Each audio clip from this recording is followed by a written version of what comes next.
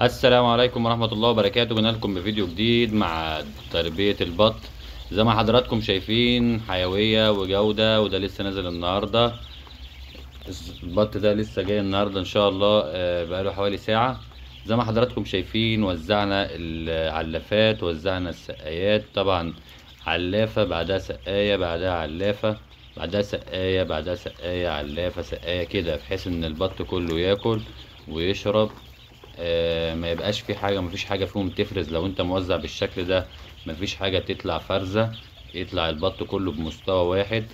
آه، طبعا انت وانت بتربي البط تاخد بالك ان انت أصلا بتربي البط هو جه كله في عمره يوم واحد. يعني ما ينفعش فيه يبقى كبير وصغير. اللي بيعمل الكبر والصورة ده يا جماعة توزيع العلافات والسقات. لو حضرتك حاطط واحدة هناك في النص كده علافة كده وحاطط سقال يمادي فده هيحصل مشكلة. لكن التوزيع زي ما حضراتكم شايفين أكون بوزع بنفس الشكل ونفس الطريقة. تمام كده يا جماعة؟ النهاردة في الفيديو ده إن شاء الله آه هنتكلم طبعا إيه؟ عن أسعار البط وأسعار آه طبعا التكلفة بتاعته.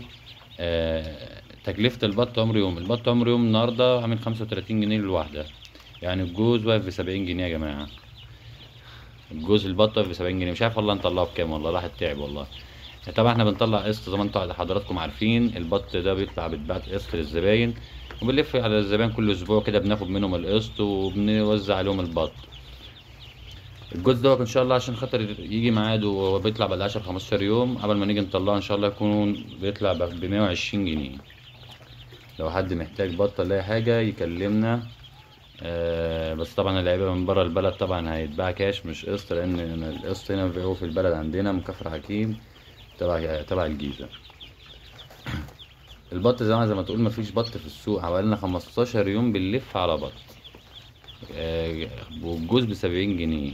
وخمستاشر يوم مش لاقي بطاية في السوق. عايز بط ومفيش بط. فتحس إن أنت خلاص بقيت شغال في حاجة ممنوعة. فمش عارف والله. شغال في الممنوعات ولا إيه؟ مش عارف. آه طبعا حضراتكم شايفين جودة البط ما شاء الله. حاجة حيوية عالية. هاي هاي هاي. زي ما حضراتكم شايفين ما شاء الله البط كله تلم ما شاء الله. طبعا درجة الحرارة النهاردة مظبوطة إن شاء الله. درجة الحرارة كده كده اليومين الجو اليومين دول حر والبط طبعا مش عايز لا ساقعة ولا عايز حر. هو برضو مهما كان أحسن من طبعا الكتاكيت لأنه بيتأقلم على الجو وطبعا بيتحمل درجة الحرارة لو عالية سنة أو واطية سنة فبرضو بيتحملها. وكل وقت وليه أوانه في التربية. يعني أنت بتربي في الصيف مش زي ما بتربي في الشتاء. لو بتربي في الشتاء مش زي ما تربي في الصيف طبعا شغل الشتاء كله بنشتغل بدفايات. أما شغل الصيف فبنشتغل من للحر. الجو بيبقى حر وكده فبنشتغل مننا آه، من غير دفايات. آه، طبعا زي ما حضراتكم شايفين البط لو في مشكلة الجو حر عليه ولا غيره مش هتلاقي البط بيجري وبيلعب. هتلاقي البط راجل يا إما في النص يا إما مراجد على الطرف. لو الجو حر هتلاقيه راجد على الطرف يعني جنب ال- الطوب جنب الحيطان. هتلاقيه راجل جنب الحيطان كده عمال بيمتص ال- الرطوبة من الحيطة عشان يحس طبعا بإيه؟ بالرطوبة. طبعا هو كده الجو بالنسبة له ممتاز فعشان كده تلاقي البط متوزع. طب لو سقعان البط البط هتلاقيه متكون في النص وبيدف بعضه. لكن طبعا الجو كده مادام مظبوط خلاص. إن شاء الله هنتابع معاكم كل يوم هننزل فيديو كل يوم على القناة للدورة ديت لعمر 15 يوم ولا 10 أيام على حسب ما نيجي نطلع هنحسب التكاليف وهنقول لكم على التكاليف برضو يوم بيومه. اللي أنا حاطه قدامهم ده حوالي ب 100 جنيه علف وطبعا حاط لهم دواء استقبال. لو حضرتك حابب تسأل على أي حاجة في قلب القناة ممكن تسألنا في التعليقات آه على أدوية على عايز تربي فراخ عايز اللي أنت عايزه اللي أنت عايزه إحنا إن شاء الله هنرد عليك وهنقول لك على اللي حضرتك محتاجه.